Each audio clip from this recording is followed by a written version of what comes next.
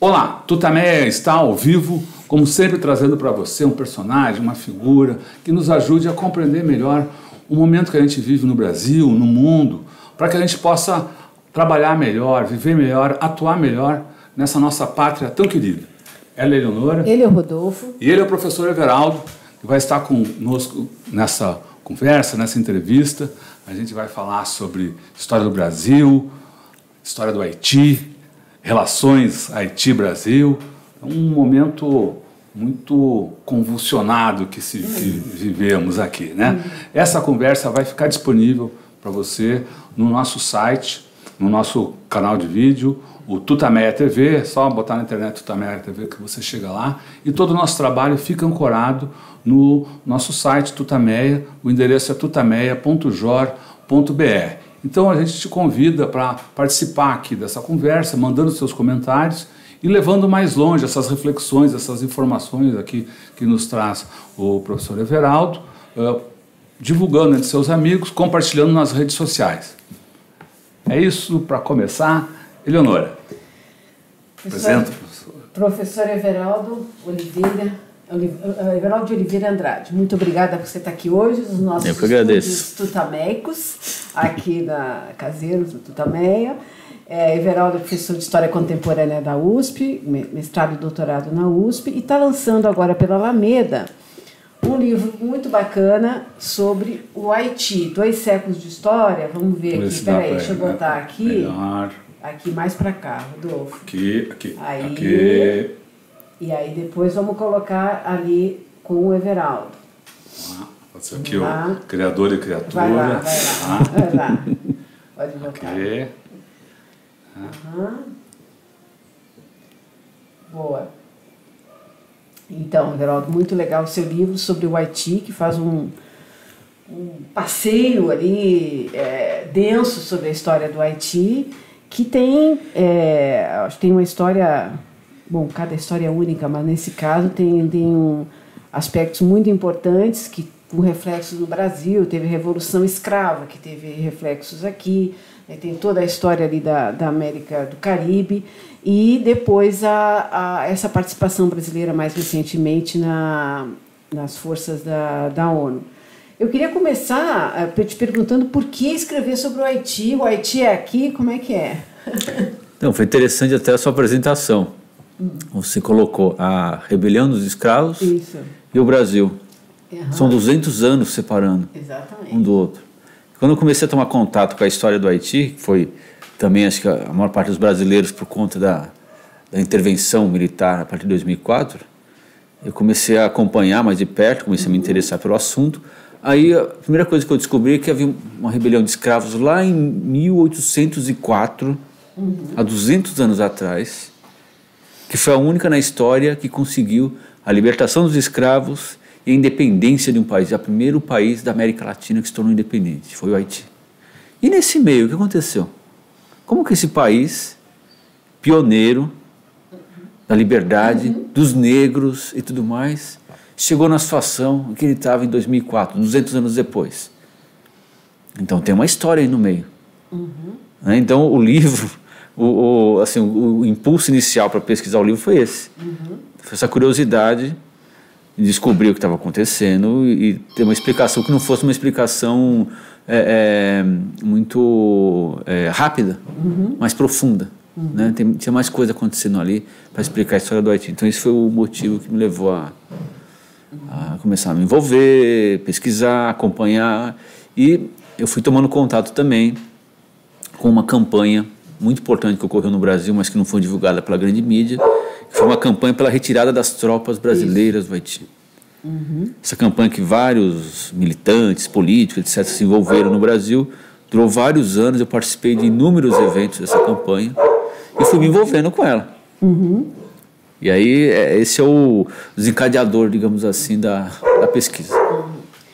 Você começa o livro, é, um dos pontos iniciais, então, é essa, essa rebelião escrava que deixou aqui os, senhor, os escravocratas, os senhores de escravos no Brasil, em vários lugares aqui da, da América Latina, muito tensos, muito preocupados com receio de que essa, essa rebelião é, se espalhasse por aqui. O que, que você pode contar para a gente dessa, dessa rebelião que é tão é, importante na história e tão desprezada pela história oficial?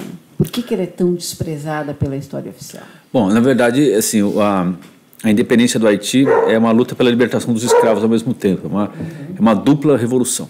Revolução uhum. social e política ao mesmo tempo. Isso é muito importante dizer. E ela está ligada a uma outra grande revolução, que é a Revolução Francesa. Isso, foi contemporânea. Né? É, ela é parte uhum. e, e, também ela influenciou na Revolução Francesa. Uhum. Ela é parte da Revolução Francesa, mas ela também tem um aspecto é, original, que é o fato de ter, ser uma revolução de escravos negros, que consegue a vitória, a total vitória, e derrotam o, maior, o exército mais poderoso da época, o exército de Napoleão Bonaparte. Não é Napoleão, coisa, Napoleão mandou 50 mil soldados atravessaram o Atlântico e foram esmagados pelas tropas do Toussaint Louverture. Uhum. Essa é, é, revolução vitoriosa, ela vai ter um impacto enorme na América Latina. Não é só no Brasil. Né? Outro grande impacto, que também é pouquíssimo conhecido, é, é a questão da relação da revolução com o Simão Bolívar. Pois hum, é. Isso, você você né? cita no, no, livro, você é, fala. O Simão assim. Bolívar, ele, a, a, o desembarque, a terceira expedição dele, que é vitoriosa, contou com apoio não só político, mas apoio material do Alexandre Petion, que era é, presidente do Haiti, 1816, 1817. Então, há uma série de cartas que são trocadas entre eles e reuniões que são feitas. Então, eu até no livro eu cito em parte isso. Então, há uma negociação. O Simão Bolívar vai até o Haiti, discute os problemas e é, é, com quem o Simão Bolívar podia discutir a libertação das colônias? Vamos pensar na época, né? O Brasil, quer dizer, uhum. dirigido pelos portugueses, os Estados Unidos, que mantinha a escravidão, embora fosse independente, a Inglaterra, a França, que uhum. uh, queria recuperar o Haiti, não. É a única nação independente da América que podia auxiliar era o Haiti. O Haiti auxiliou. Era um país pequenininho, com poucos recursos, mas ofereceu navios, armas, soldados, recursos e viabilizou uhum. a expedição do Simão Bolívar. Ou seja, o Haiti é protagonista direto da luta da é. liberdade aqui na, na América. E o, o Petion, ele é, não condicionou, mas é, é, na discussão que ele fez com Simão Bolívar, ele levantou a questão da liberdade dos escravos. Quer dizer, o Simão Bolívar tinha que assumir no seu programa a libertação dos escravos como um tema central da sua luta, porque o Simão Bolívar vem da aristocracia também. Uhum. Então tem esse aspecto também. Ele é, é orientou também uma, uma, uma, uma linha política de, de Simão Bolívar que foi completamente diferente da que vinha sendo feita anteriormente. Permitiu que Simão Bolívar dialogasse com a ampla população da América que aderiu à luta pela independência. Então a Revolução Haitiana ela tem um alcance que vai além do que a gente pensa. E no Brasil, você já falou um pouco disso, né? Uhum. É, aqui tinha o, o, temor do haitianismo. Não tem historiadores que já, já estudaram uhum. né, de maneira específica essa questão. O livro ele discute de maneira é, mais rápida essa questão, não é o centro do livro, né? mas é, aqui no Brasil é, é teve claramente uma, um impacto no sentido negativo. Uhum. Né? no sentido de, de, de negar. Então, é, é, precisavam fugir. É, mas é contraditório, que ao mesmo tempo isso destaca a importância, porque o esforço para esconder a história do Haiti, ele está ligado à importância da história do Haiti. Por que, que você esconde? É, por que você esconde algo que não é importante? Não esconde algo que não é importante. Você não silencia algo que não é importante. O silêncio aqui tem, tem um, é, ele é muito importante. Né? Uhum. Porque além do Brasil, que era um, um país central na, na, na, América na época, tem Cuba, uhum. que mantém a escravidão, e, e, e, retoma a escravidão no século XIX, porque a Espanha perde suas colônias, mas mantém Porto Rico e mantém Cuba. Uhum. Então há uma retomada da escravidão negra, e o sul dos Estados Unidos. Uhum onde tem milhares e milhares de escravos negros. Uhum.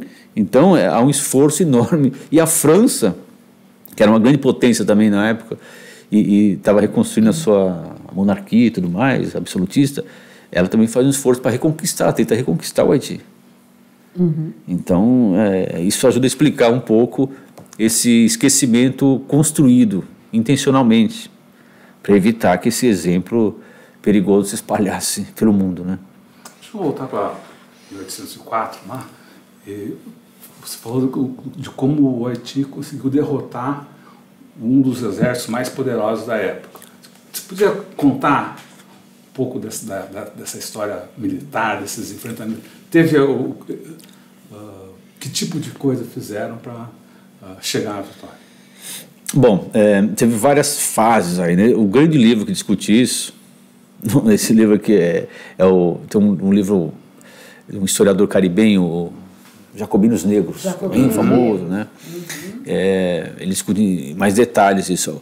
Uma das grandes é, é, forças, talvez, do, do exército do Toussaint Louverture, e depois do Dessalines, que o Dessalines era um general também, né, é, junto com o Toussaint, era adaptação também ao clima, eles conheciam muito bem a terra, e havia uma diferenciação social dentro do Haiti, né?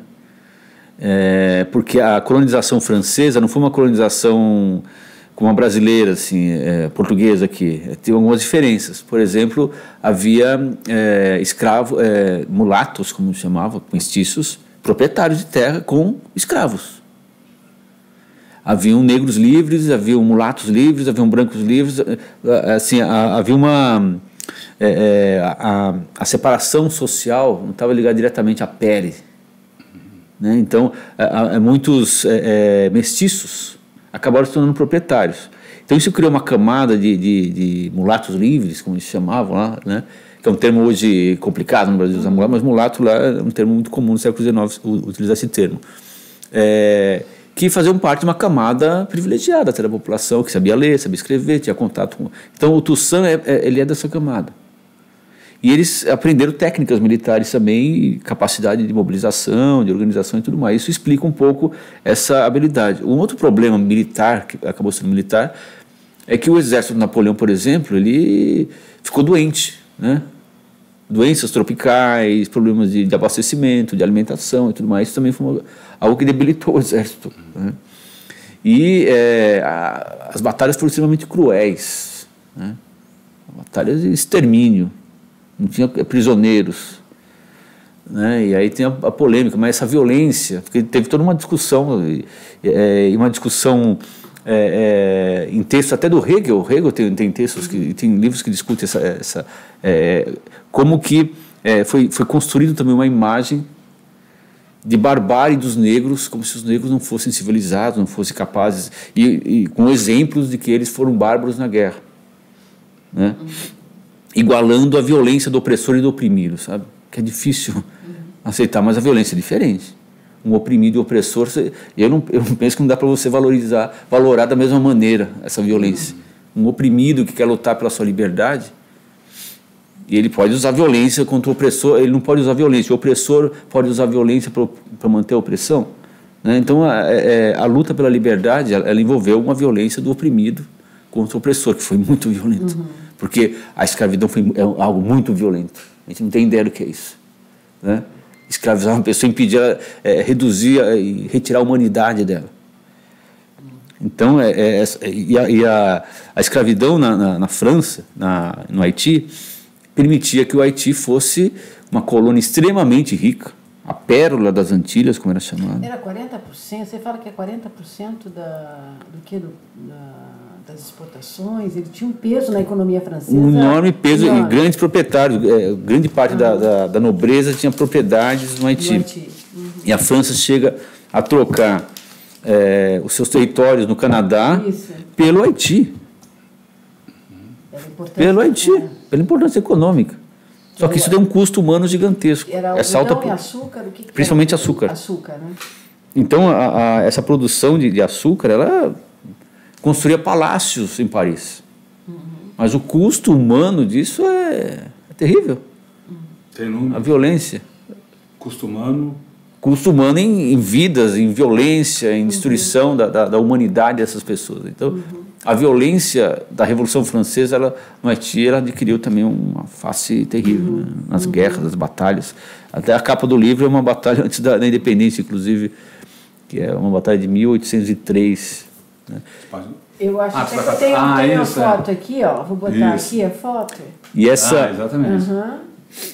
E essa guerra, ela, ela essa, se... essa, você pode falar sobre essa imagem, então? Então, essa imagem, eu não tenho detalhes dela, eu, eu encontrei ela pesquisando muito, Uhum. né? É uma imagem de um pintor de 1803, uma, das batalhas, inúmeras batalhas que ocorreram, porque é, você perguntou da, da, da história militar, né? É muito complicado a história militar. Tem muitas idas e vindas, porque é, a, a, a luta pela independência do Haiti está ligada com é, a, não só a Revolução Francesa, mas a ascensão do Napoleão e todas as, as idas e vindas das alianças com a Espanha, com a Inglaterra, o envolvimento dos Estados Unidos dentro da ilha, porque metade da ilha era francesa, outra metade era espanhola. E chega um momento da, da luta pela independência em que a França faz um acordo com a Espanha, ela devolve um território que ela conquistou da Espanha, em troca a Espanha dá metade do território para a França. Só que a França, ela não quer que a, a- a- o, o que é hoje a República Dominicana seja ocupada pelas tropas francesas naquele momento, que são as tropas do Toussaint. Então ela não quer que os negros ocupem o território espanhol, que tinha escravidão e dominado por brancos. Cria um impasse. Vou botar um mapa aqui. Então tem até- várias questões muito complicadas na, na história de. é, além disso, a Inglaterra e a Espanha, elas lutando contra a França, eles invadem o Haiti no momento em que, o, em que os haitianos estão lutando contra a, monarquia francesa. Quando os jacobinos assumem o poder e, e proclamam a a, libertação dos escravos, isso permite um, é, um agrupamento dos escravos, mas depois os jacobinos são derrubados lá na França. E aí os monarquistas no Haiti resolvem retomar a luta para recuperar suas terras e, e retomar a escravidão. E se aliam com os espanhóis do outro lado. Então, há uma, um, Um caldeirão ali. é um caldeirão, que da- e desse caldeirão vai nascer o Haiti. Então ele vai, ele vai nascer de uma terra arrasada, com muitas mortes, com uma destruição muito grande da, da agricultura e tudo mais. E vai ser muito difícil daquele, daquela situação construir um Estado nacional. Consegue? Consegue, mas demora bastante. Por exemplo, o primeiro momento, é, o próprio Dessalines, ele, é, acho que uma das conquistas, uma das grandes conquistas da, da independência é a nacionalização da terra. Um artigo que, que é, deixa muito claro que a terra haitiana pertence ao povo haitiano. E é proibido que um, um estrangeiro tenha terra no Haiti. Isso vai ser revogado no século XX, quando os Estados Unidos invadirem o Haiti, tomarem o Haiti e impuserem essa revisão da Constituição. Então não é à toa, né? Então não podia ter Essa empresa. questão da terra é crucial. Crucial. Ela vem uma, na história, mas nessa história... vai E, ter- e, e tem diferença, vai ter diferença, vai ter luta, vão ter lutas, porque uma parte dos, dos vitoriosos são todos negros, uma parte, mas tem uma parte que são chamados mulatos, que é, é- é a categoria mulata mais ligada ao, ao controle da terra também, né? O mulatismo, que é mais a região sul, onde se consolida uma república, é, liderada pelo Alexandre Petion. E no norte do Haiti se constitui um reino, tem até um- uma, é, um livro delicioso do Alejo Carpentier, Tenho aqui, vou botar aqui pro é, pessoal O Reino desse Mundo. Isso. Esse né? livro é sensacional. Ele conta- Recomendo. Bom, você cita no, É, ele no conta- seu, no isso. seu livro, mas conta. Ele conta a história do, do Henri Christophe, que era um dos generais do, do Toussaint. Tem, um, tem o Dessalines, tem o Henri Christophe. O Henri Christophe ele resolve proclamar o reino do Haiti no norte do Haiti. Então há uma, há uma luta durante um, até 1820. Então você está se constituindo o Estado do Haiti ainda. A forma, república ou monarquia não está definida ainda. Então, no norte, é, o Henri Christophe ele constrói uma fortaleza, até, até o livro ele, elabora isso, né, do Alejo Carpentier.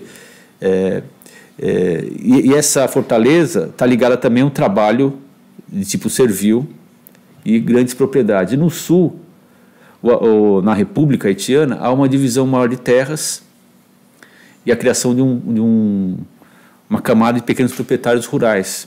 Isso diferencia o Haiti também né, é, permite, no caso, a distribuição de terras, mas destrói a grande, a grande produção de exportação. Então cria um impasse econômico também no Haiti.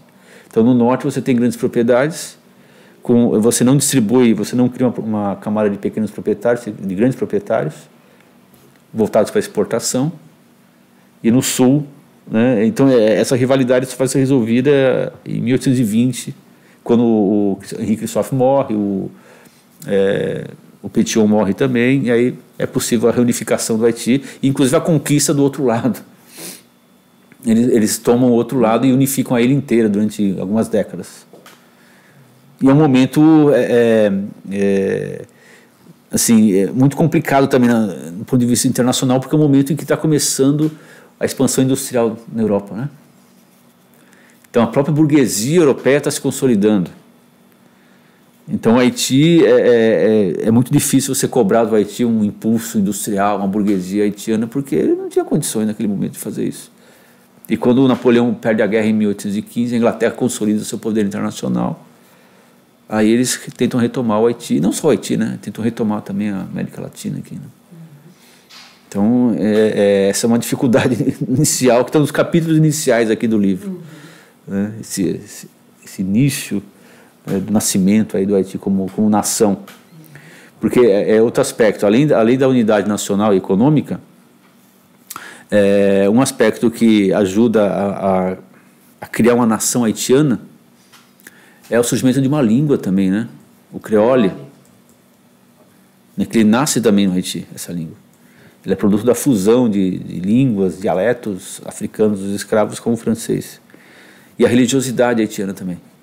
O voduísmo, né, que tá, vai ter sempre uma oposição com o catolicismo, vai ser quase uma religião oficial ligada é, ao, à Europa, à França e tudo mais, e o voduísmo é uma religiosidade ligada né, aos, aos, fenômenos da natureza, à cachoeira, ao mar, à floresta, ao vento, né, aos espíritos do, do, né, do mundo natural que é perseguido sistematicamente, mas é... São apresentados em, em tudo, até hoje nos filmes são apresentados, é apresentado como bruxaria. É, não, foi uma campanha sistemática em dois séculos. De demonização. Demonização, demonização e campanhas é, é, é pelo Estado, é, pelo Estado. Contra o tambor. Então é o piano contra o tambor, é o, é o francês contra o creole, né? E isso vai, isso vai é, ser objeto de resistência também no povo haitiano. Né? Então tem é, depois eu discuto um pouco é, mais na frente no livro que é, no final do século XIX começa um movimento é, que é, é muito interessante, já, já é um movimento que demonstra o amadurecimento da nação haitiana, quando as potências europeias, é, para justificar sua expansão e controle da África, do mundo colonial, se utilizam do, do racismo e, da superioridade, da suposta superioridade dos brancos, da civilização branca, que os negros não são seres humanos, etc. E os intelectuais haitianos se levantam e é o único, né, é, é, é, é, era a única nação, porque a Etiópia não estava, não tinha um governo, não tinha ainda essa ligação com a Etiópia, que era um governo também de negros, né? É a única nação, o único estado do mundo onde existem condições de um, um grupo de intelectuais defender a humanidade dos negros. Então, quando o Conde de Gobineau escreve aquela, aquele livro a, é, a, Desigualdade das Raças, acho que é esse o título, eu, é, há um, um escritor é, haitiano que dez anos depois vai publicar um livro contestando e defendendo que os negros são seres humanos, sim. Tem uma nação, tem um país, tem uma cultura e tudo mais.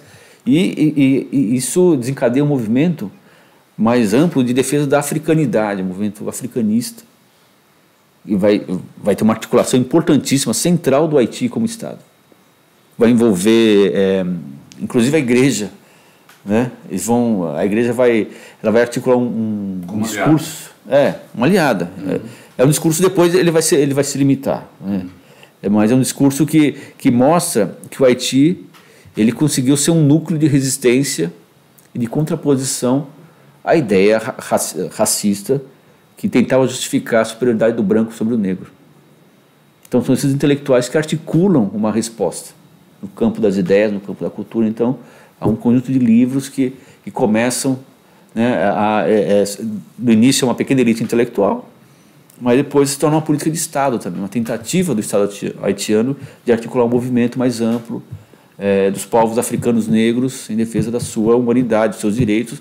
E a orientação desse, desse movimento é uma orientação de negociação, por conta da igreja também, de negociação com o imperialismo, de negociação com as grandes potências, não de confronto, mas é uma expressão de uma resistência. Né? Você fala, antes de a gente chegar no, no século XX, você fala no livro de muitas revoltas camponesas, né? Você, você fala de confronto, você fala de, de enfim, essa disputa pela terra como uma coisa que move muito a história, né? Como é que você explica essa essa resistência ou essa, essa esse dinamismo das lutas sociais dentro do Haiti? Então, esse é, é o século XIX que você está falando, Isso. principalmente, uhum. né? Porque esse, esse momento é, é, não aconteceu só no Haiti, é um fenômeno é, de várias partes do mundo. É um momento em que o capitalismo ele está se consolidando internacionalmente e está constituindo de fato um grande mercado mundial. Então você tem revoltas, revolta de Taiping na China, você tem revolta de Canudos no Brasil, você tem revoltas no México, você tem revolta na Bolívia, você tem revoltas. O que, o que tem em comum essas revoltas?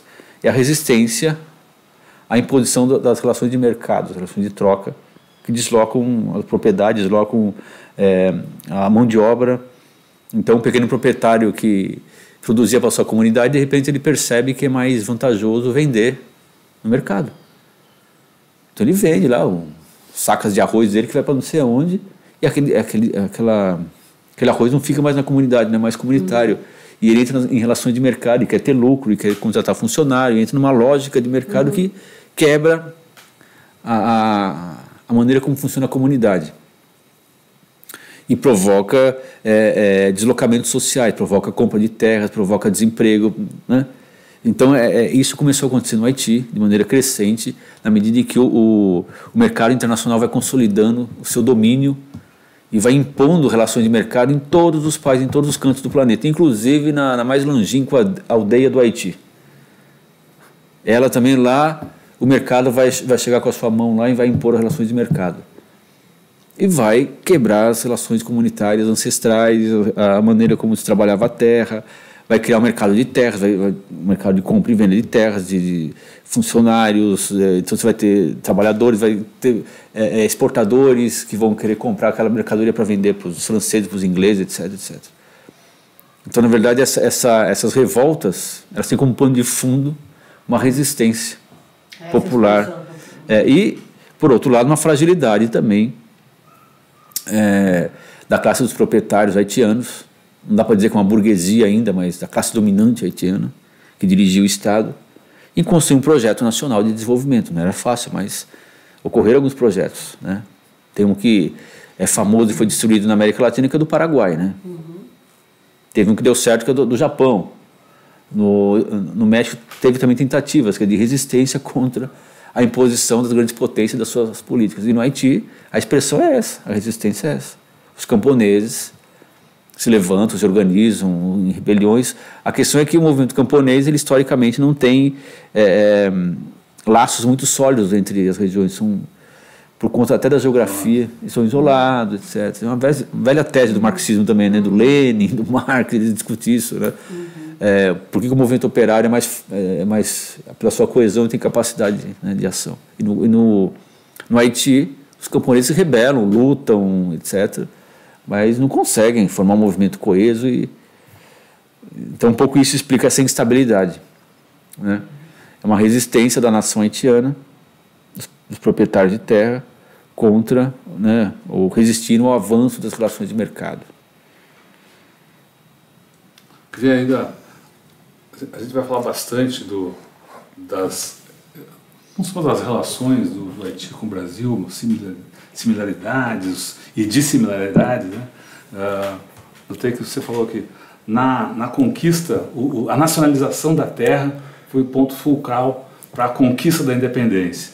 A gente vê hoje um governo, não só o governo Bolsonaro, mas ele seguindo já ações do governo Temer, que uma das suas ah, seus projetos, suas medidas é de facilitar a venda uh, da terra para multinacionais, para estrangeiros, enfim.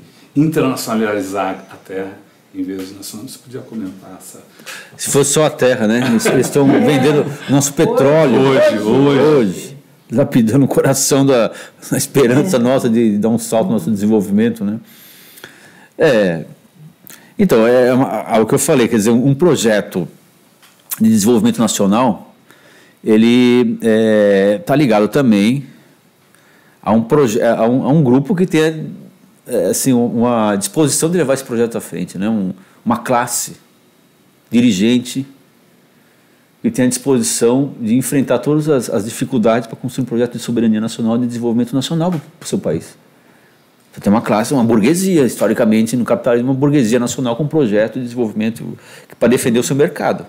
Porque as burguesias dos países que se desenvolveram, embora falem de liberalismo, livre mercados, isso é uma balela. É uma, isso é algo né, construído artificialmente, porque não existe as grandes potências se construírem defendendo os seus mercados. O Estado atuando e defendendo suas grandes empresas. Até hoje os Estados Unidos fazem isso. A Alemanha fez isso, a França fez isso, a Inglaterra fez isso, o Japão fez isso. A China está fazendo isso hoje, embora é um país em transição aqui, outro, outro caso à parte. Né? Então, e o, e o Brasil, que ele está? Está tá destruindo um projeto nacional. Uma possibilidade de ter um projeto nacional. Uma situação em que uma crise econômica enorme no, no mundo. Né? É, o núcleo do capitalismo, que é os Estados Unidos, ele procura retomar espaços perdidos, né? procura retomar é, é, espaços que projetos nacionais passaram a controlar de maneira autônoma. Então, o, imagina o Brasil controlando suas jazidas de, de minério, e de petróleo e destinando ela para um projeto autônomo de desenvolvimento. Você industrializa o país em poucos anos. A, a União Soviética fez isso nos anos 20. Em 20 anos ela saiu de um país agrário para um país gigante, né, uma indústria. A gente pode até discutir os métodos, se estava certo ou não. O Brasil tem, tem, o Haiti não tem esse potencial, mas o Brasil tem.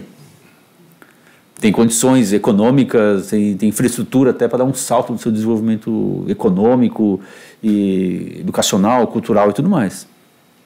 Mas quem vai controlar, quem vai desenvolver isso daí? A burguesia brasileira, que tem negócios é, profundos aí, íntimos com o capital internacional.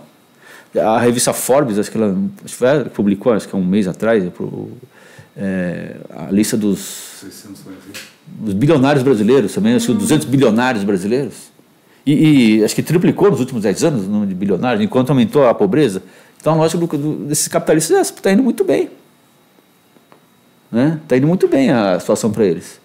Estão, crescendo, a economia está crescendo do ponto de vista deles, né? a acumulação de capital nas mãos deles está crescendo. Então, é, na verdade, é um projeto. Para você ter um projeto nacional, você vai ter que se enfrentar com esses grandes proprietários, os grandes bilionários que dirigem o mundo. O enfrentamento é pesado. Você vê a Venezuela. Não fez. Ela não foi até o fim, né? ela não confiscou os bens da burguesia venezuelana.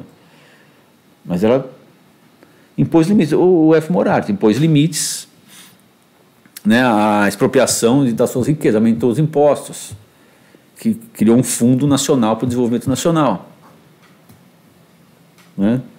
É, só que isso causa né, é, uma pressão sobre o mercado. O mercado quer se apossar de tudo isso. É coisa que eu falei do Haiti. Ele quer ter o controle e não quer ter nenhum tipo de regulamentação. Quanto mais livre, quanto menos Estado, quanto menos regulamentação, melhor para o mercado. Não é porque ele é, o empresário individualmente é, é mal. É porque a lógica do lucro é: se você não fizer isso, o seu concorrente vai lá e te derruba. A lógica do capital é essa. Quanto mais livre o mercado e tudo mais. Então, acho que a lógica que o Bolsonaro está tá realizando é, é, essa, de destruir completamente, de maneira mais profunda, mais né, profunda possível a, a qualquer tipo de regulamentação, a livre circulação de capitais e de trabalho no Brasil.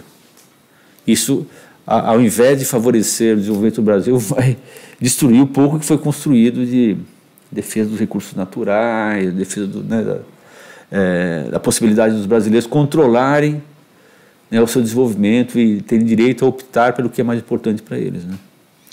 Então, é, é, o Brasil tem essa, tem, tem essa possibilidade, né? de, de realizar isso, eu penso. Está sendo. Hã? Que está sendo massacrada, né? Que está sendo.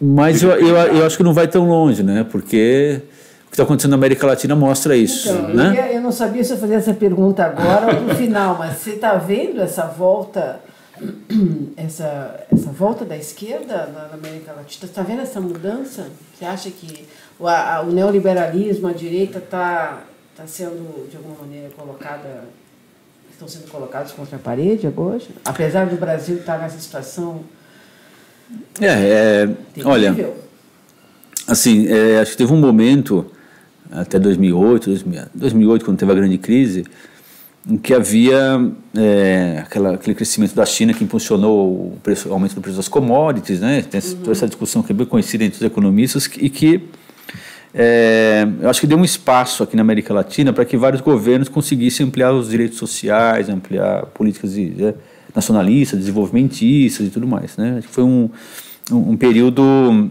é, que permitiu que, por exemplo, o governo Lula, o Chaves, o Evo Morales, o Correia mesmo a Kirchner, né? Mesmo que não é de esquerda, né? Uhum. Falam que é de esquerda, mas não é, peronismo não é, uhum. não é esquerda. Não tem uma esquerda como no Brasil, embora eles tenham uma participação no movimento dos trabalhadores. Mas é, havia uma margem que permitia a eles ampliar os, os, direitos sociais, desenvolver políticas nacionalistas sem se confrontar diretamente com o grande capital internacional. Uhum. Então, era possível conciliar. Havia uma, uma gordura para queimar, uma margem de manobra. A questão é que de 2008 para cá, a crise vem se acentuando, essa gordura, essa margem de manobra desapareceu. Então, por exemplo, em 2013, 2014 no Brasil, é, a Dilma foi eleita, mas a margem de manobra havia acabado. E aí, nesse momento, você tem, você tem que optar. Né? Se você continuar com política de, de, de, as políticas de ajuste que o FMI impõe, vai acontecer o que aconteceu com Correia, com Pinheira. O povo se levanta, porque você não tem mais margem para aumentar menos o, as tarifas ou para aumentar o salário, etc. Agora é tirar direitos. Você não tem mais aquela, aquela margem, ou você enfrenta o capital ou você enfrenta o povo. Então é, essa esquerda latino-americana está confrontada com esse dilema. Ou ela fica com o povo, amplia direitos, defende e faz com que o povo defenda né, as, as reivindicações nacionais, populares, mas com o governo, ou o povo vai se levantar e vai querer derrubar o governo.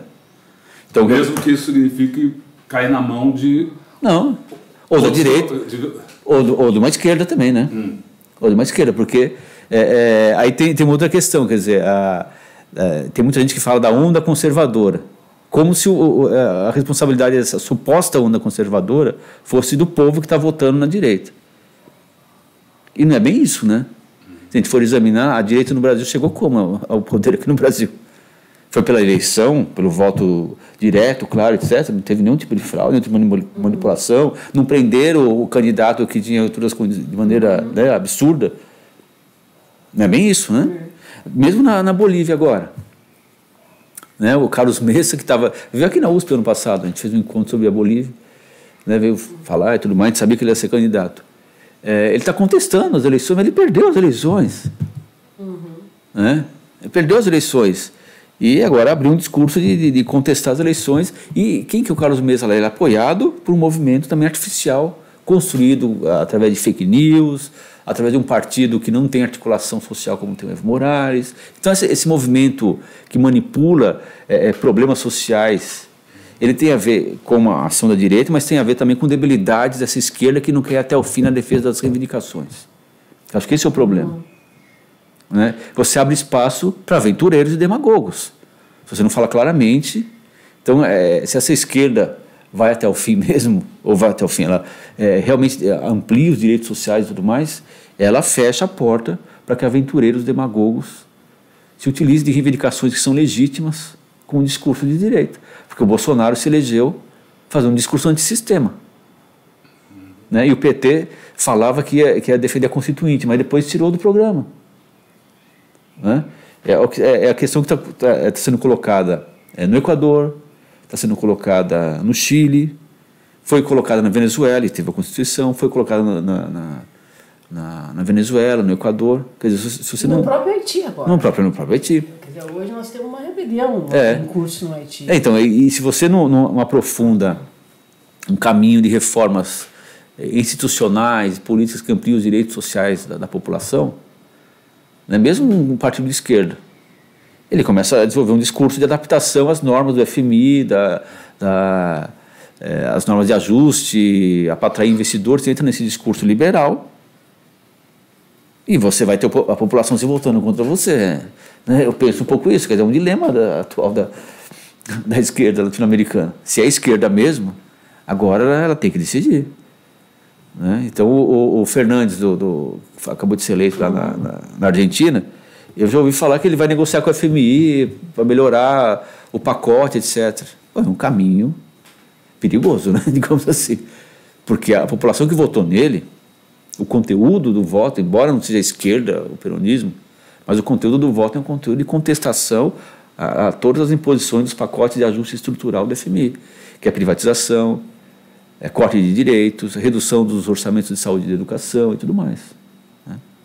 É tudo que o, você vê o conteúdo da, da rebelião no, no Chile, no Equador, no Haiti, é isso. Né?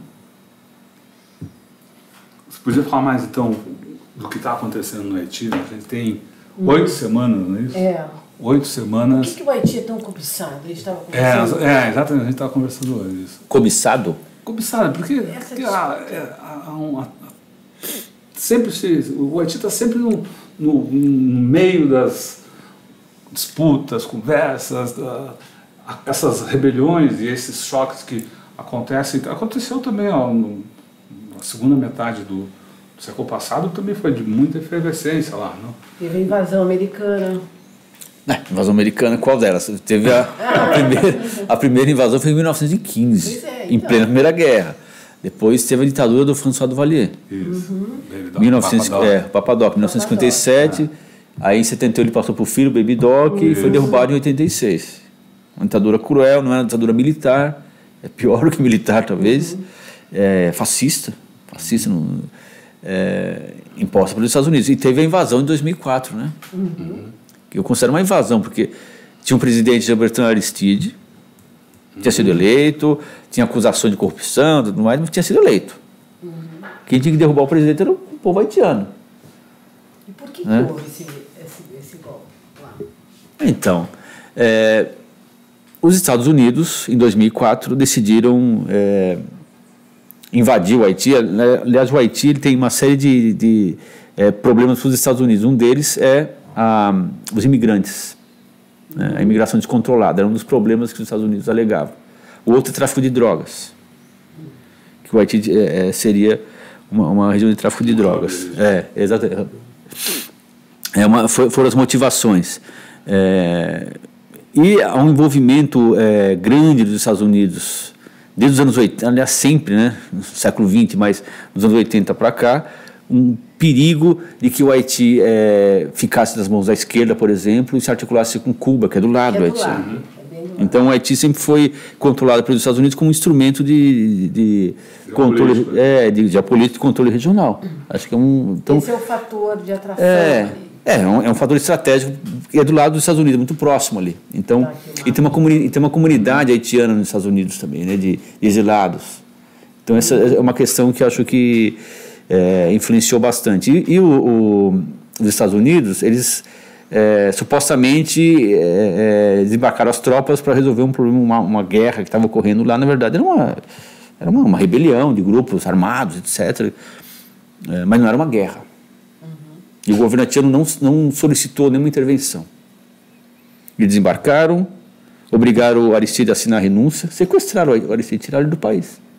E a ONU, posteriormente, a ONU legalizou isso, criando a MINUSTAH.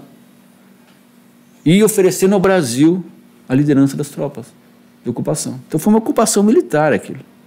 Sequestrou o presidente, impõe uma, uma missão de paz num país que não está em guerra e que não solicitou aquela missão de paz.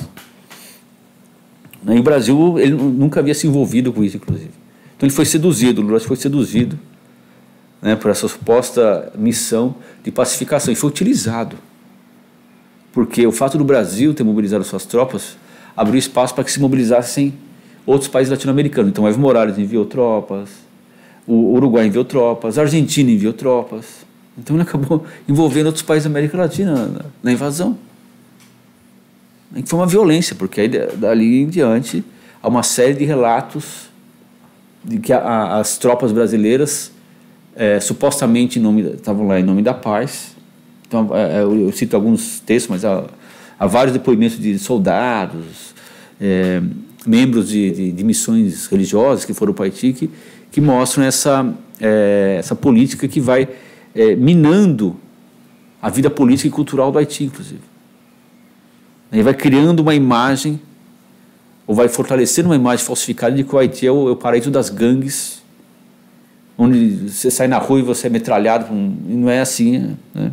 O Brasil tem lugares que é muito, são muito mais violentos do que o Haiti. E, e isso para justificar o quê? A ocupação militar. E a ocupação militar ela tem é, um outro objetivo, que é encobrir. Você falou da por que que disputam o Haiti? Bom, o Haiti tem milhões de trabalhadores miseráveis que não têm emprego, destruíram a agricultura haitiana. Né, as, a, a, as grandes indústrias e as grandes empresas de terras dos Estados Unidos desde o começo do século, ao privatizarem a terra, destruíram grandes é, comunidades e a plantação de alimentos também, destruíram a plantação de alimentos, que era algo forte que permitia. Cultura familiar. É. Então há, um, há uma degradação constante. Esses milhões de miseráveis aceitam qualquer emprego para não morrer de fome.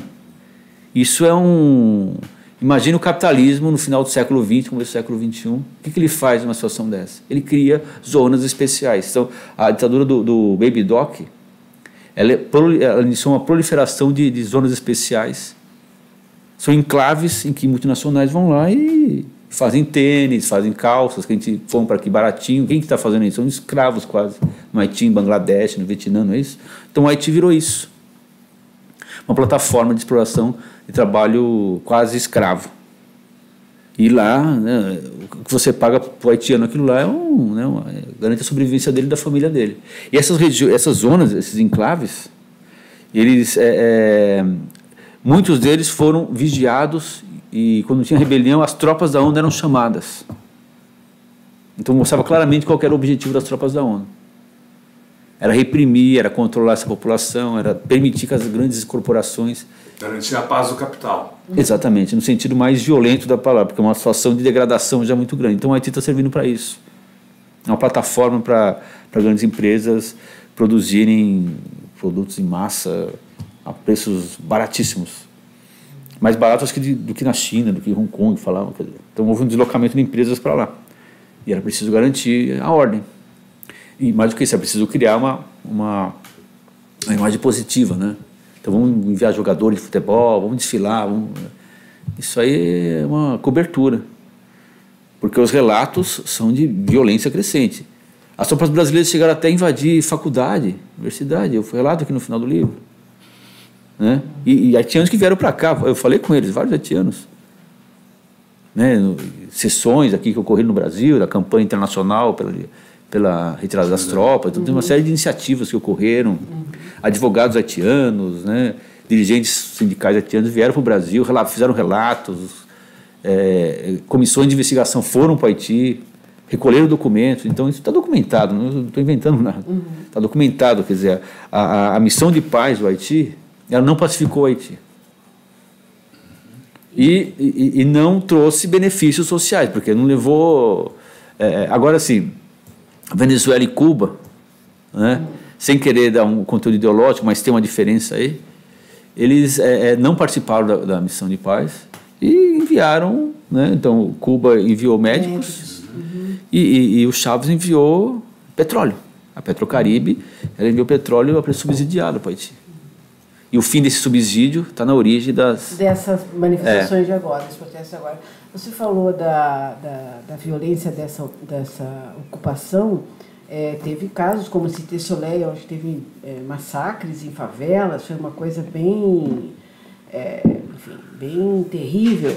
E os militares que brasileiros que participaram dessa missão. Comandaram. Né? Com, é, que comandaram, a, comandavam justamente a, é, essa, esse grupo, essa intervenção, estão hoje no Planalto. O que, que a gente pode o que, que você pode comentar para a gente sobre a missão do Haiti como aglutinadora desse grupo que conquistou o poder agora? Muitos falam também que foi uhum. aí um momento de, da cooptação desses, desse grupo uhum. de comandos militares, uh, cooptação, uma aproximação maior uh, do, dos militares norte-americanos.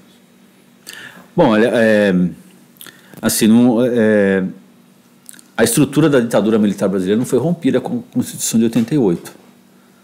Né? Há uma, uma preservação de vários entulhos autoritários que estão custando caro para o Brasil. Né? Então, em 88 houve uma negociação. Foram incorporados direitos à nova Constituição mas foi preservada a polícia militar, os privilégios dos militares, etc. Então, a primeira questão é essa: o exército brasileiro é o mesmo exército. Né? E esse exército é que ele se aproximou mais dos Estados Unidos, é verdade. Mas acho que mais do que isso, é, é, aliás, eu começo o livro falando disso.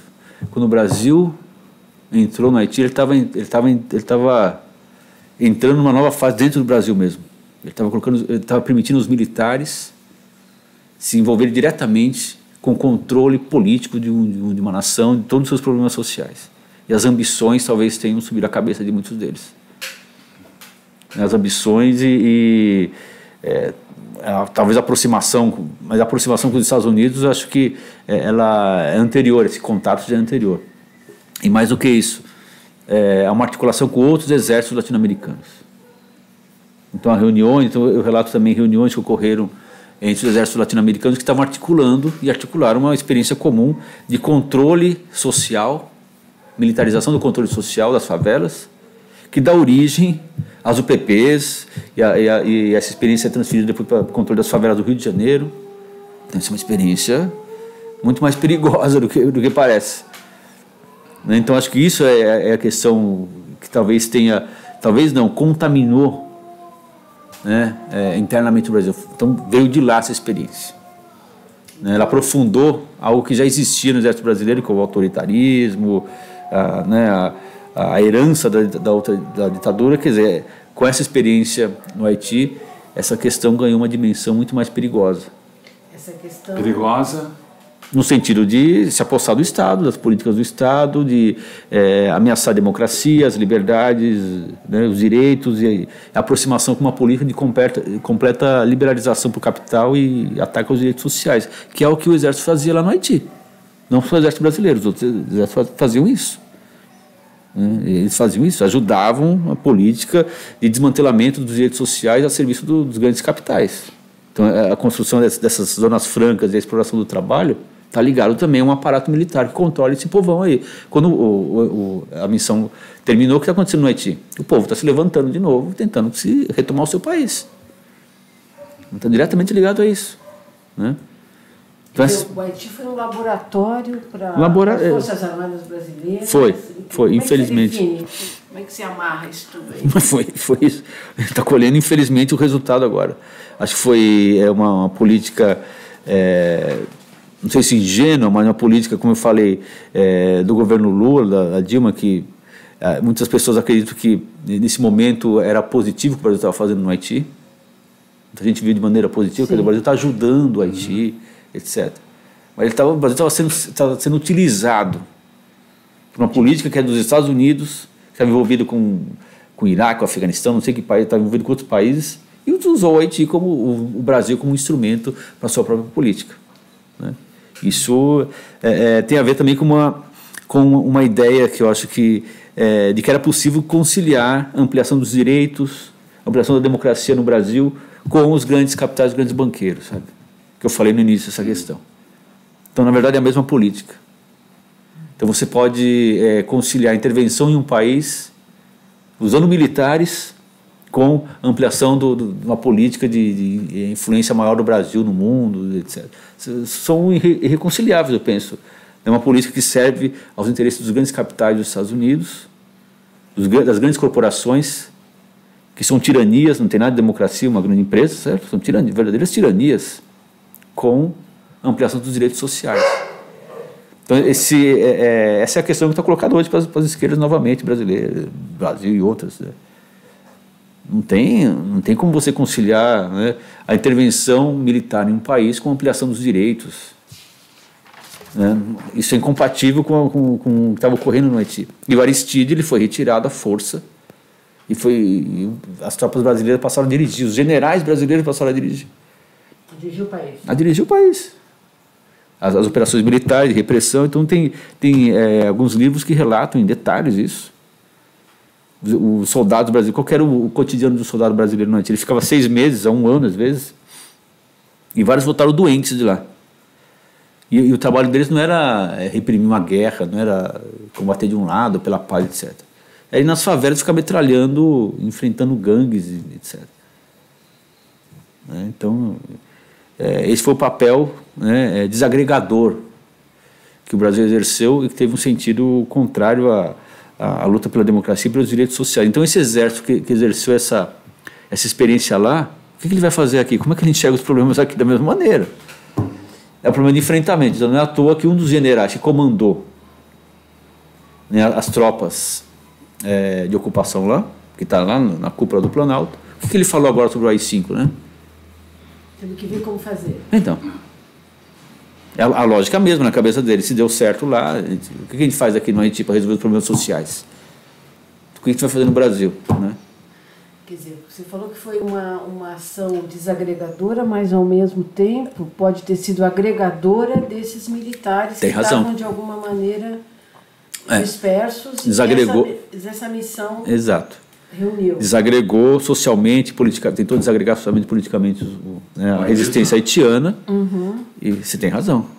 E, e criou uma unidade, né, uma experiência comum de partilhamento da, né, da ocupação da repressão para esses generais. Você tem razão. E isso é muito perigoso, né? É, é o que está se vendo aqui. Eu queria ainda voltar à situação que, de hoje no Haiti.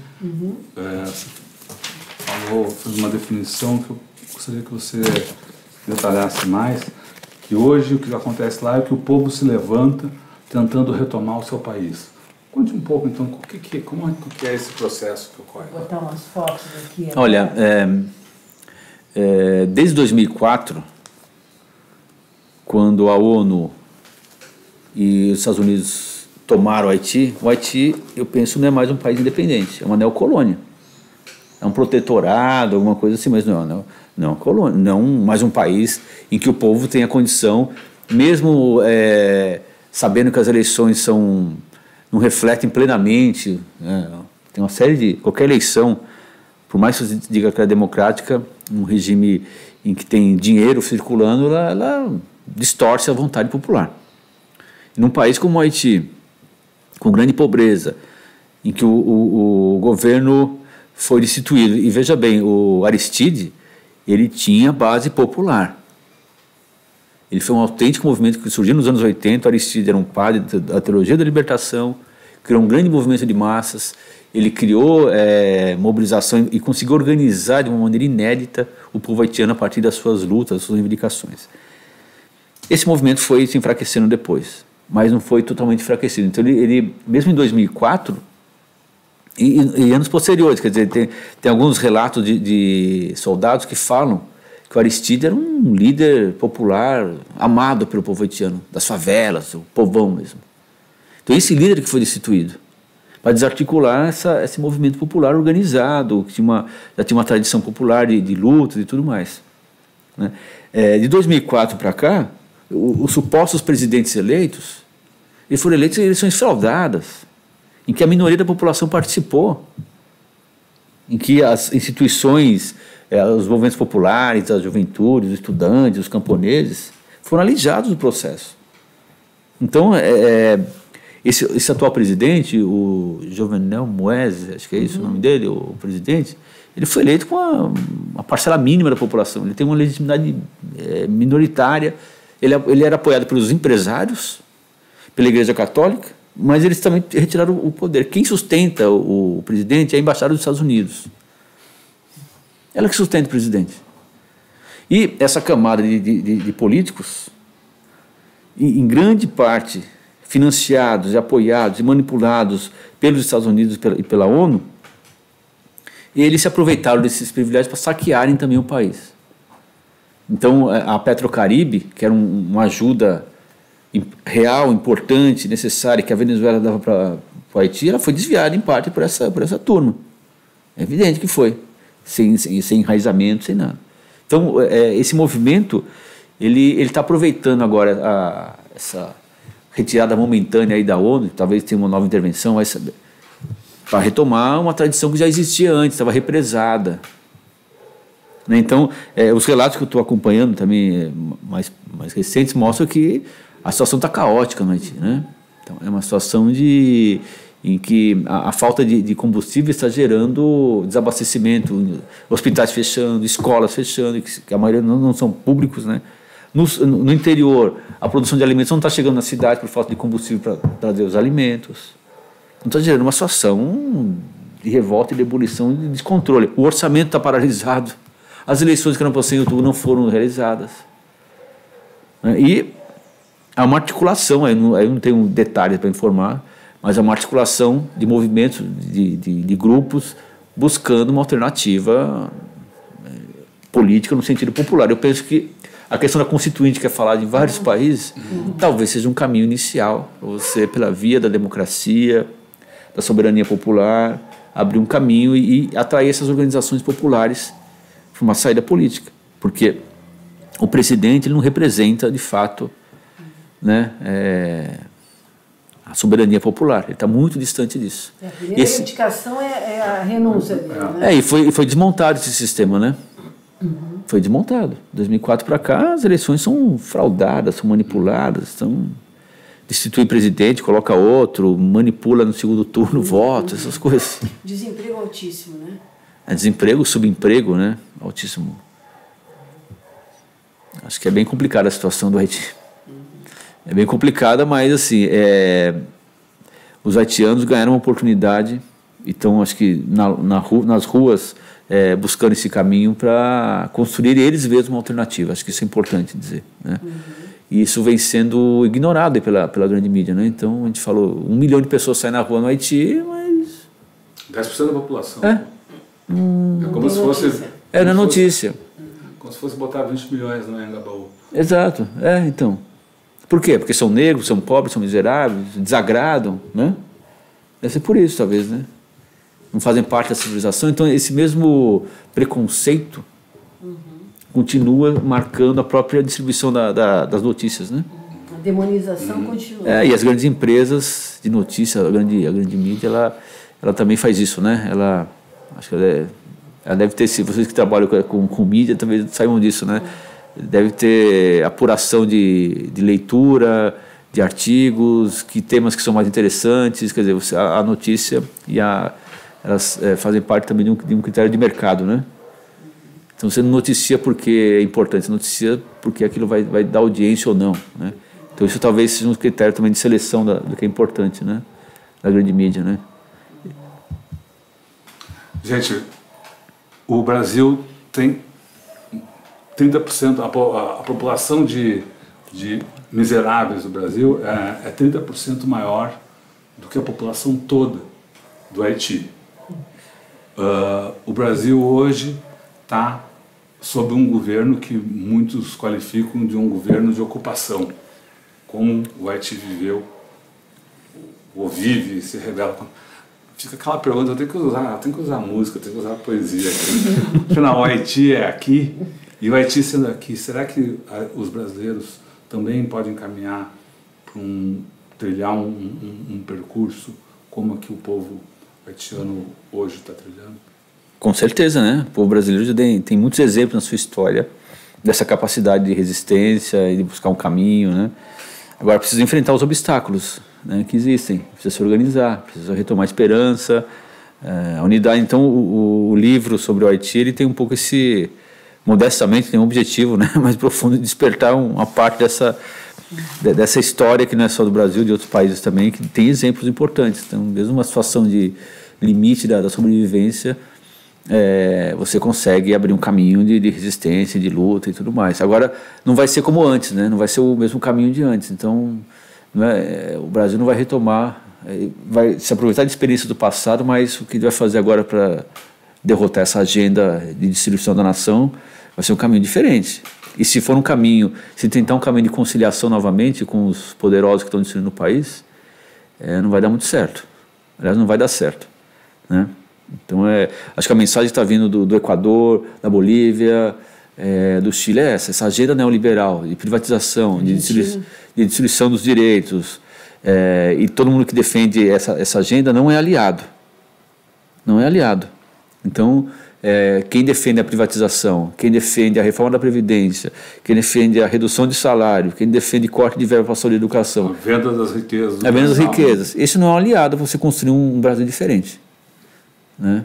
Então, e quem, quem defende políticas é, é, que foram erradas no passado, como enviar tropa para Haiti, né? foram políticas erradas. Então tem que romper com essas políticas erradas e ter uma plataforma com claro compromisso social para que essas pessoas consigam se mobilizar novamente. Né? Sem isso, a gente vai continuar negociando com os de sempre e a, a, essa energia transformadora vai, vai parar na próxima esquina. Né? Legal, professor Everaldo. A gente conversou aqui, então, no, também é ao vivo, com o professor eh, Everaldo de Oliveira Andrade, que está lançando o livro Haiti, Dois Séculos de História, o lançamento é, aqui em São Paulo é amanhã, às 17h30. Amanhã, dia 7. Amanhã, dia 7, né? às 17h30, no Anfiteatro da História, uh, na cidade universitária, na USP. E a gente lembra que toda essa conversa, essas reflexões sobre a história uh, do Haiti, da América Latina, a história do mundo, a história do Brasil, ficam disponíveis no nosso canal de vídeo, é o Tutameia TV ao qual você também tem acesso pelo nosso site Tutameia. O endereço é tutameia.jor.br. E antes de a gente dar o tchauzinho nessa sessão de agora, da tarde, pedimos ao professor que mande a sua mensagem final aí para os internautas que nos acompanharam e que nos continuam nos acompanhando aí no, no YouTube, na internet. Bom, queria agradecer aqui a oportunidade da Tutameia de discutir um pouco da história haitiana parece muito distante da gente, mas ela está dentro de nós. O Brasil interviu, se envolveu com Haiti, isso chamou a atenção de muita gente. Então, o objetivo do, do livro é, é mostrar que nós somos todos seres humanos, é, não importa a cor da pele, e a solidariedade né, com todos os povos é uma mensagem que eu acho que a gente deveria retomar no Brasil. Né, um Brasil de tantos preconceitos, tantas perseguições, tantas ideias absurdas que estão tentando destruir a nossa nossa civilidade como brasileiros precisa ser combatida. E o povo haitiano, por incrível que pareça, ele fornece grandes exemplos de resistência e luta pela liberdade, pela democracia, pelo amor, pelas, pelas suas tradições. E ele é um exemplo, sim, até para o Brasil. Né? Então a gente às vezes despreza pequenas histórias, como se fossem pequenas, mas ali existe uma grande história que serve para toda a humanidade, inclusive para o Brasil. Muito bem. Muito obrigado, professor. Muito obrigada. O pessoal vai lá no Tutameia TV, se inscreva, taca, toca na sinetinha né? e daqui a pouco a gente está de volta. Tchau, pessoal. Tchau.